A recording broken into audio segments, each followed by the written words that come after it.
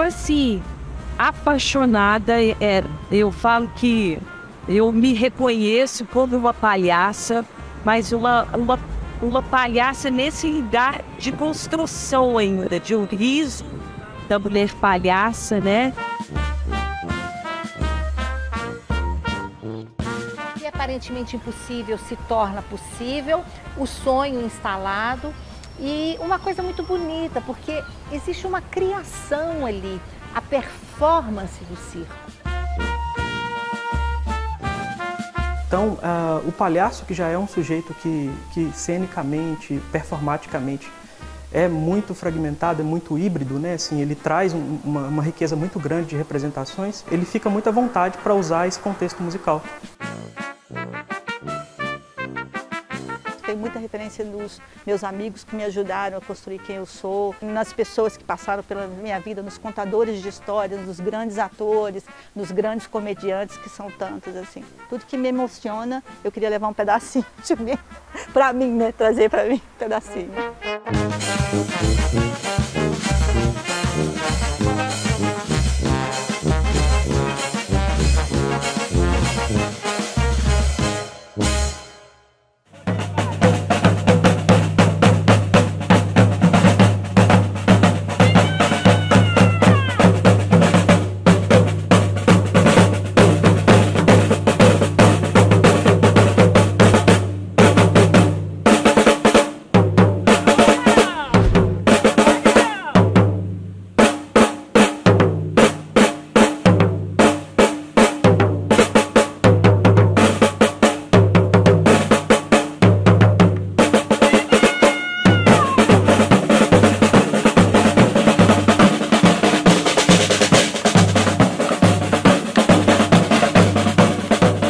Fruto, né, dessa, desse movimento das mulheres, é, desse universo da palhaçaria, né?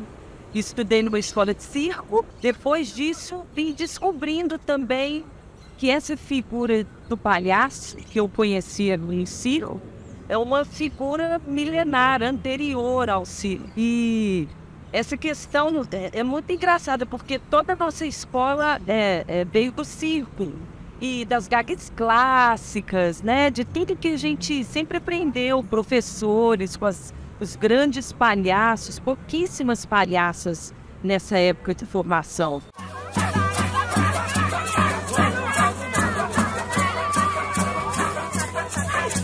Vai dar vídeo cacetada.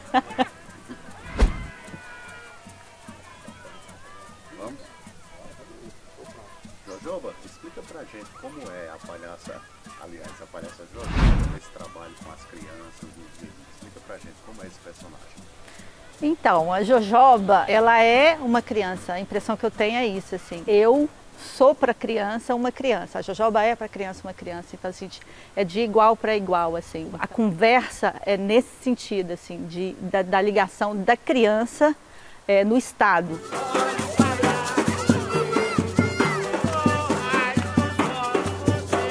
Eu chego, monto meu circo, mini circo, é, chamo a criançada para participar, aí elas acreditam que existe uma coisa ali, que é um circo enorme, e a coisa acontece, assim, a brincadeira acontece aí, eu e elas.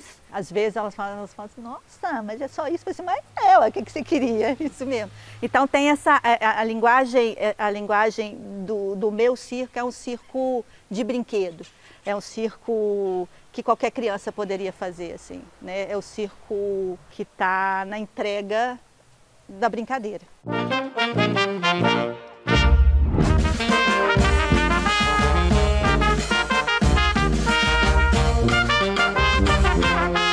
As palhaças elas começam a surgir com força né, em, no ano né, da década de 80. Né?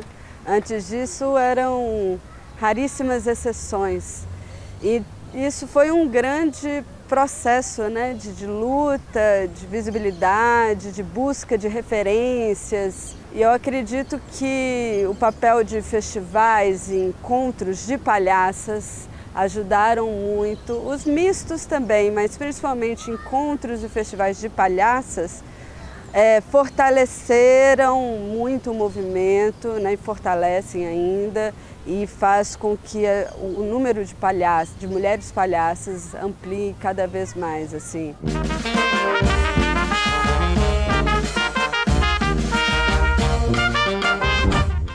Existe até uma palhaça mulher, o caso de uma palhaça mulher em Minas Gerais. Tem até um filme, Minha Avó Era Palhaça. Mas, em geral, os palhaços eram homens e eles eram ali é, pessoas que, que geravam né, toda essa esse suspense em torno de si. Você vai ver, aqui não tem não não, é puro coração. Aqui vê só canção, vem brotando de tanto. O que, que a gente quer ir, né? Do que, que a gente quer falar? Então é um movimento, eu falo, ele, apesar de já ter um tempo aí que ele, que ele vem acontecendo, se fortalecendo, ele ainda está em construção. Esse, esse, esse lugar dessas palhaças fazendo palhaçaria, descobrindo as suas dramaturgias, o que quer falar, como fazer graça, como achar graça. Então eu estou assim, apaixonada. É, eu falo que eu me reconheço como uma palhaça, mas uma, uma, uma palhaça nesse lugar de construção ainda, de um riso da mulher palhaça, né? De uma construção da graça e isso me dá água na boca. Assim. Um ambiente ainda bastante masculino às vezes, mas que é, cada vez mais a gente vai ganhando visibilidade e tendo mais referências né, na palhaçaria feita por mulheres. Ser palhaça me renova todo dia. Assim, eu, eu, eu chego é, e é sempre aquela Tá, tá, tá, será que eu vou conseguir? Porque eu sempre acho que eu não tenho capacidade suficiente, não tenho treinamento suficiente, não estudei a cena suficiente, é, não sou boa o suficiente, mas quando eu chego, tem o olhar da criança que eu preciso conquistar e é um olhar que elas devolvem para mim com tanta, tanta vai, vai que eu quero que, elas querem que isso dê certo, às vezes mais que eu. Então assim, a crença delas no nosso encontro me transforma é, e me renova, assim. Então é um pouco isso assim que eu sinto assim, eu sinto agradecimento por essa coisa.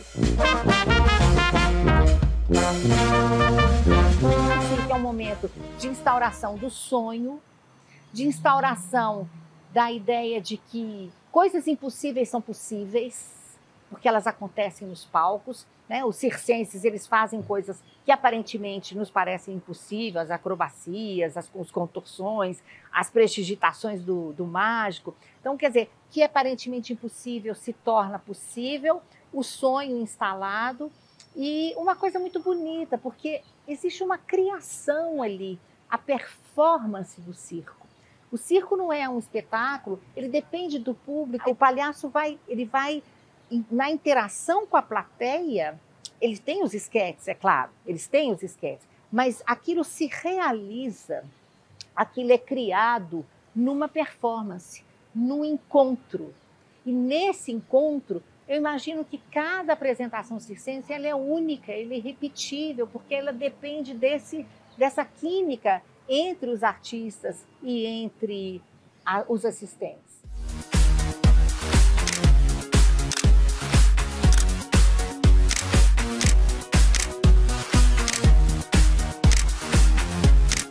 Vem comigo, meu amigo, vem comigo, meu amigo. Aqui não tem frescura palhaçaria está aí para isso, para transformar, né? Claro que a gente quer primeiro fazer rir, quer a gargalhada, mas a gente quer tocar, quer transformar as pessoas. Então, eu acho que está um movimento lindo, múltiplo, mulheres do Brasil inteiro, cada um trazendo a sua forma, tem coragem para inovar, para arriscar e estão fazendo história.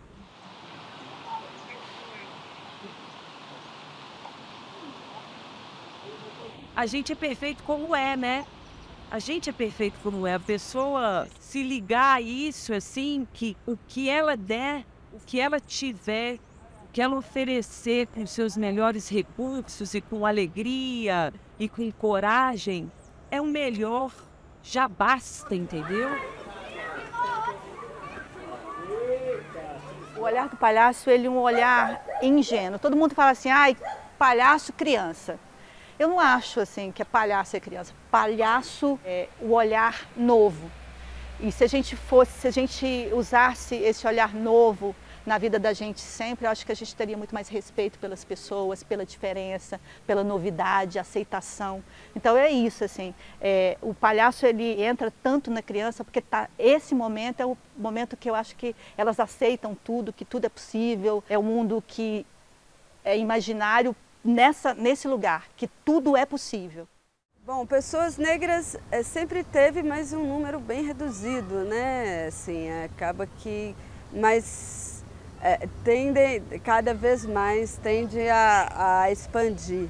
É, eu vejo muito, é, como uma vez eu vi um estudo sobre a história da arte drag, ali o nascimento ali nos Estados Unidos, mas como um movimento feminista abriu espaço para essas outras lutas. E eu acho que com a palhaçaria não é diferente, assim, quando chegam as mulheres, as mulheres escancaram a porta do circo, isso traz também espaço para outras lutas dessas ditas minorias políticas, talvez, né, que na verdade não são nem são minorias, né, muitas vezes, mas abre espaço de, de diálogo, de discussão para esses outros lugares, esses outros questionamentos, né, dessa diversidade fundamental e necessária, né, que o circo sempre propôs conseguir, né, fisicamente consegue muitas vezes. Né? Desde que eu sou palhaça, é, eu vejo um monte de mulheres palhaças também. Às vezes não estão com o nariz vermelho, mas estão é, se expressando. A palhaça é tão necessária quanto o palhaço. E eu não sei se nesse lugar existe essa, essa coisa do gênero, entendeu? Tem a entrega. É, eu acredito nessa coisa, assim.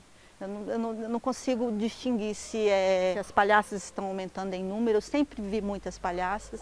Eu acho que talvez o, o jogo, o nosso jogo, seja um pouco mais sensível, porque o universo feminino é sensível. Mas é, a palhaçaria, eu acho que ela não tem sexo. Assim. Se é palhaço, é, é, assim, eu acho que é contato, é relação, é, é humanidade, assim. Eu acho que talvez nós nunca estivemos precisando tanto de palhaços porque nós estamos precisando de rir do que é absurdo na nossa sociedade. Existem coisas acontecendo que são absolutamente absurdas e que envolvem autoridades muito sisudas. Né? A gente lê nos jornais o tempo todo as pessoas é, muito sisudas, muito sérias, muito moralistas, muito duras com tudo. Nós temos várias direções, né? A gente é feliz, a gente é triste, a gente é diva, a gente é bagaceira e ao longo da vida a gente vai construindo esse, esse estereótipo assim e vai para se adequar, para ser bom, né, para funcionar, para ser legal. E o palhaço chega e, e, e bagunça tudo, mostra a nossa humanidade, assim, né? É, faz a gente viajar por essas direções e nos conhecer.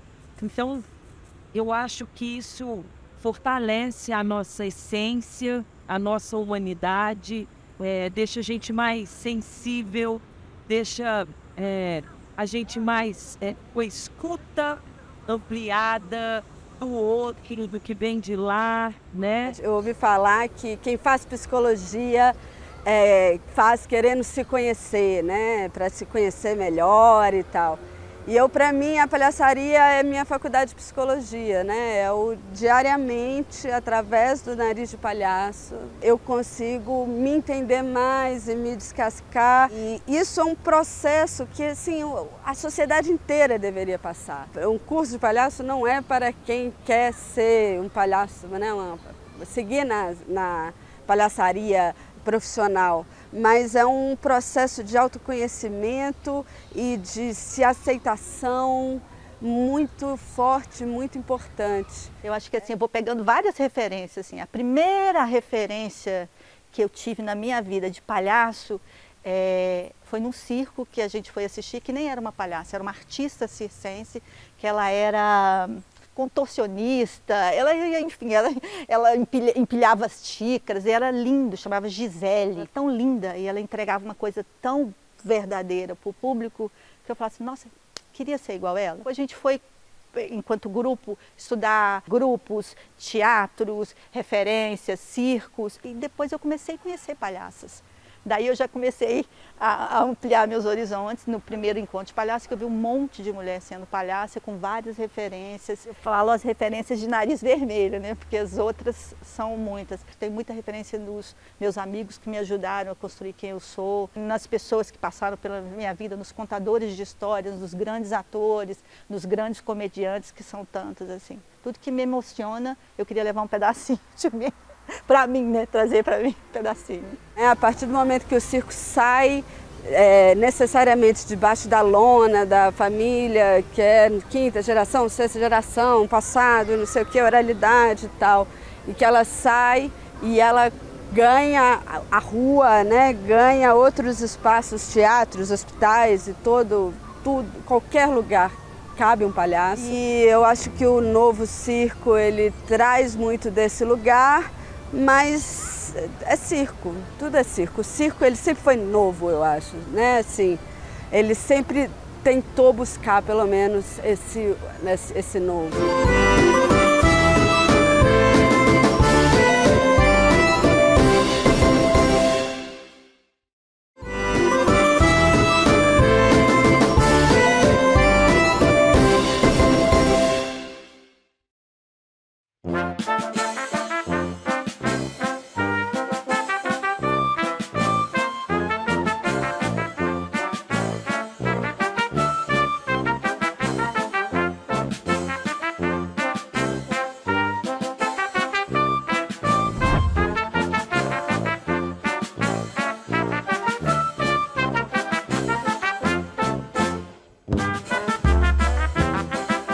Museu da Música é uma instituição que guarda é, manuscritos musicais que são procedentes de outros tempos, de outros, de outros períodos. Né? O ponto de partida do acervo é a música do século XVIII. A gente tem, é, nesse período, a instalação de, um, de uma prática musical muito sistematizada na Catedral da Sé de Mariana. E esse material, inclusive, corresponde a essa prática musical. Esse material ele é trazido para cá e naquele período ele já era muito antigo. A gente está falando aí da, do período medieval, né, que é o canto gregoriano é desse período.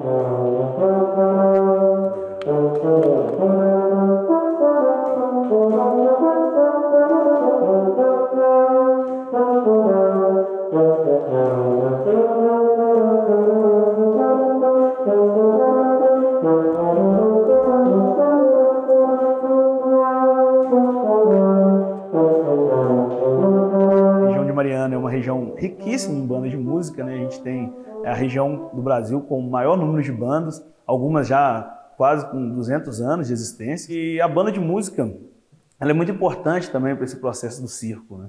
É a partir das bandas de música que a gente vai ter a música de circo. Inicialmente essas músicas vêm da Europa, né? Elas vêm, a maioria delas, escritas para piano. E o, o mestre da banda, ele arranjava essas músicas para piano, algumas polcas, valsas, mazurcas, e transformavam esse repertório para as bandas de música executarem. E o que vai gerar depois, futuramente, outros gêneros, como o próprio choro, vem desse meio da banda de música também. Era é super corriqueiro a gente encontrar é, álbuns de bandas tocando polcas e depois a gente vê os conjuntos de choro também tocando essas mesmas polcas.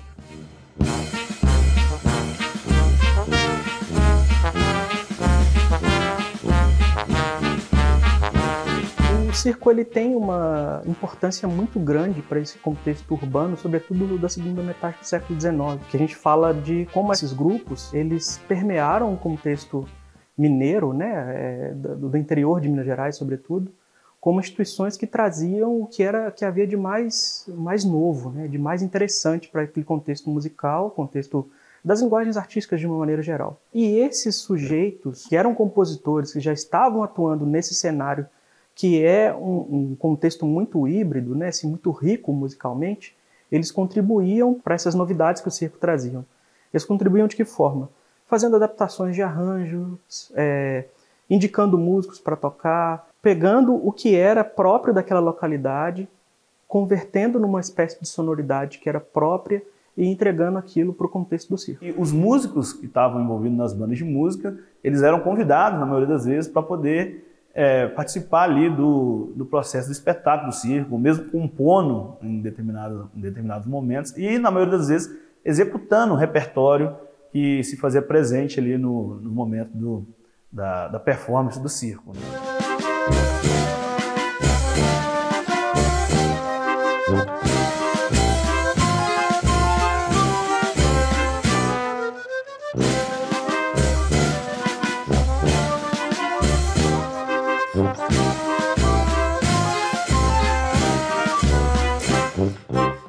Essa música extrapola o contexto da música sacra e chega no contexto urbano.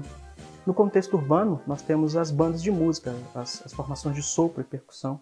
E o cenário urbano ele também é muito rico nesse contexto do, do século XIX para outras práticas de representação, dentre elas o circo. Esse gênero musical ele é, é muito específico, assim, para trabalhar com ele hoje em dia, a gente precisa analisar as partituras, né, a maioria do final do século XIX, início do século XX, e tentar buscar essa escuta, essa, essa paisagem sonora que era obtida através da banda de música, sobretudo. Então a gente busca escrever aos modos que os compositores escreviam. É que a música ela gera, ela ajuda a reforçar a percepção do, do espectador, ela ajuda a contornar as ações, ela ajuda a criar o enlace entre uma cena e outra. Então são muitas funções que a trilha sonora tem, né? Assim, e mais especificamente nesse contexto, o que é muito rico é que nós falamos de muitos gêneros musicais ao mesmo tempo. Então, uh, o palhaço, que já é um sujeito que, que cenicamente, performaticamente, é muito fragmentado, é muito híbrido, né? Assim, ele traz um, uma, uma riqueza muito grande de representações. Ele fica muito à vontade para usar esse contexto musical é, que é próprio desse, desse cenário.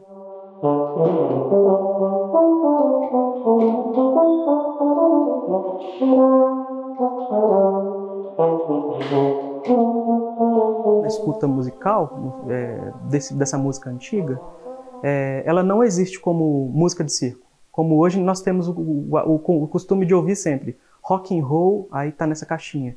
Forró está nessa caixinha. A valsa é uma dança, então, tá, né? É, nesse período isso não é delimitado, né? Assim, nós temos as nossas associações que são subjetivas e temos as, as, as associações que são de ordem quase que científica, né? De pegar um documento, cruzar uma fonte, saber que aquela, aquela música tocou em tal lugar onde tinha um circo e fazer as, as aproximações. Mas isso é quase impossível de dizer que, que existiu de forma consolidada.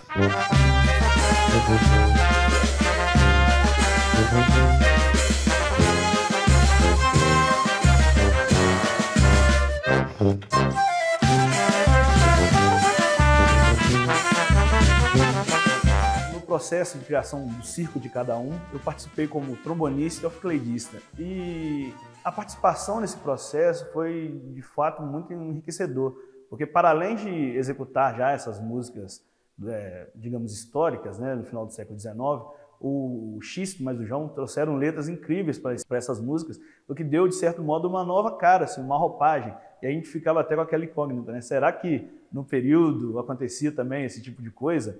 Aqui na região de Mariana do Preto, é, vários dobrados têm letras, né? coisa que não é muito comum nas outras regiões.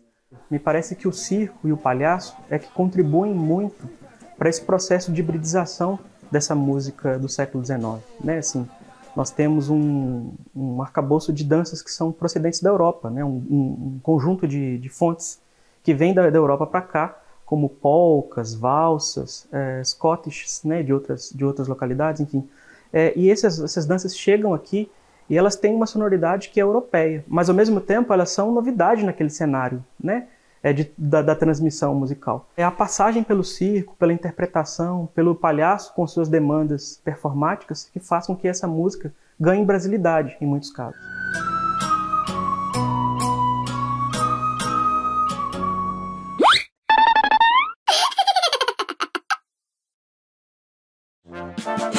Adiante, ela chega em seu cavalo branco Abre a sua capa esvoaçante, espalha seu encanto, colorindo tudo ao redor.